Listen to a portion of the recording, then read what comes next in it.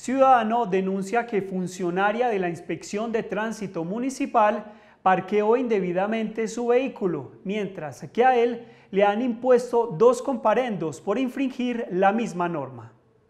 Según el denunciante, los guardas de tránsito deberían ser los primeros en ubicar adecuadamente sus vehículos a la hora del parqueo.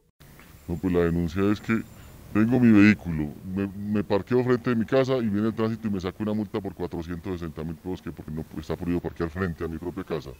Y el de tránsito vive ahí, parquea su carro ahí, su moto ahí sobre el andén y a ellos y nadie, para ellos sí no hay a ellos sí nadie les saca un parte. Entonces esa es la denuncia que quiero poner. Posterior a la denuncia del ciudadano, llegaron las autoridades de tránsito, compañeros de la funcionaria, y procedieron a la inmovilización del vehículo. Ante la presencia de la dueña del automotor, el guarda de tránsito de Sonsón impuso el comparendo correspondiente.